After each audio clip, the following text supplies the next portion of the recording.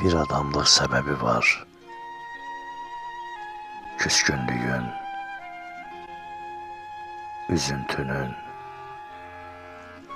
yaşamağın, xoşbəxtliyin.